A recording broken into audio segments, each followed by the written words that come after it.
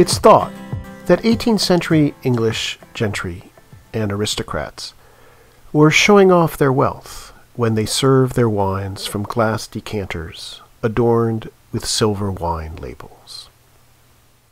Yet these objects may not have been as materialistic as our own bottles and paper labels, which help turn wine into lots to bid on at auctions, overlooking that if wine could reincarnate as a work of art, it would materialize as a work of 20th century conceptual art, like this piece for projector and slide conceived in 1971 by the Italian artist Giovanni Anselmo, in which the projected word visibile disappears into the empty space that staged its projection.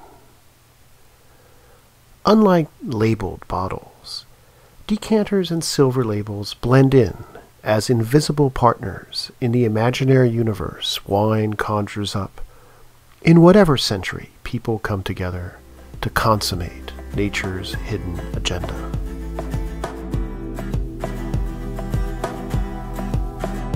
Before English glassmakers discovered how to make clear glass vessels, wine was often kept in dark glass bottles, and the earliest glass decanters echoed the shape of their era's bottles. But unlike bottles, which, over time, underwent a logical evolution toward a standardized body, a shape that would make them easier to commercialize, ship, and stack. Decanters whimsically changed shape. The 18th century beheld the shoulder decanter, the Indian club, followed by the sugarloaf decanter, the taper decanter, and then at the beginning of the 19th century, the Prussian decanter and the cylinder decanter. This continual change in style led Andrew McConnell to conclude, in his book on the history of decanters, that during the 18th century English wine decanters evolved more in shape than in ornamentation. A greater focus on shape that can be attributed at least in part, to the attractive decoration already furnished by the wine label.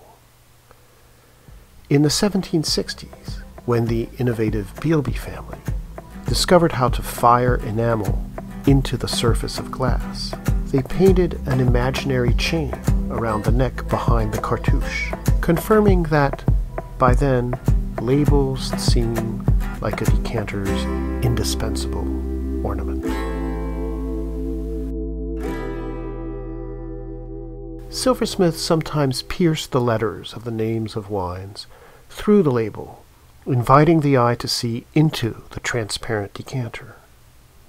The tiny hallmarks, including the initials of the name of the silversmith who made the label, as well as the decorative chasings, works of patience and skill, left much unseen to the naked eye. And they left much unsaid, with obscure names like Lunel, or elusive names like Claret, or, for the wine I drink, Burgundy. Names that by today's standards leave so much about the exact origin of a wine up to the imagination that one can say that they were labels that defied labels.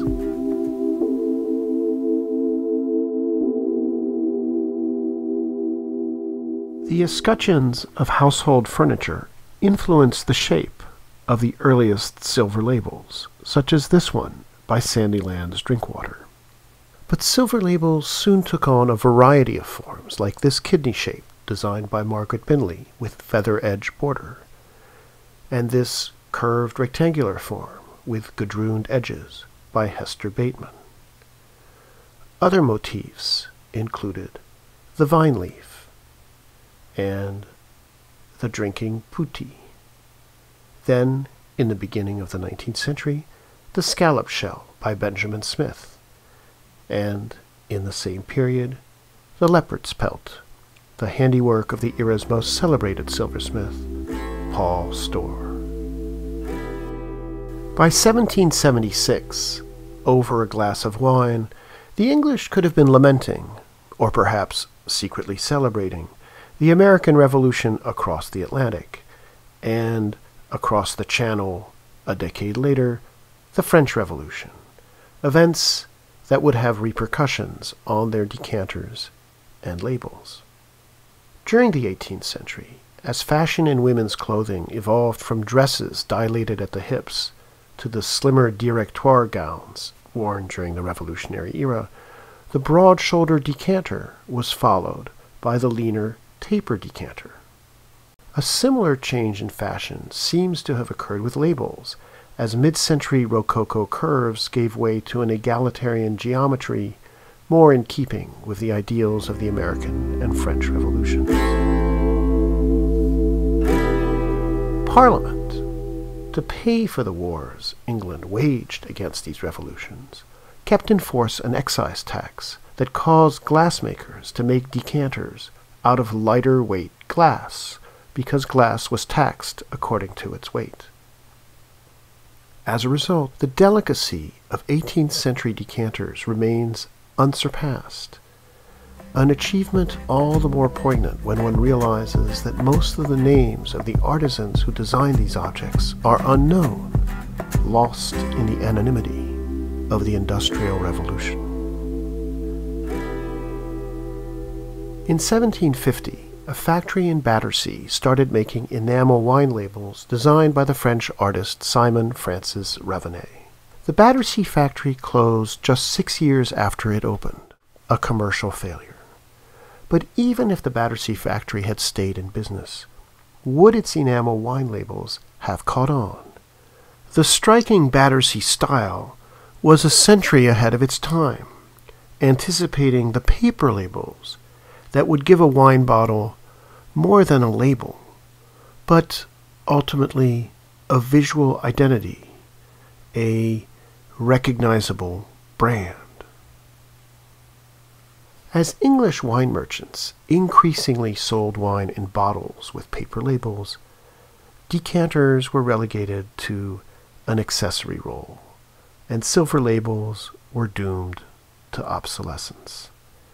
Silversmiths must have sensed the impending doom of this segment of their market because by the mid 19th century, as Professor John Salter observed in his book on wine labels, label design was overtaken by a paucity of imagination. But still today, these objects are not just artifacts. They are more than collector's items.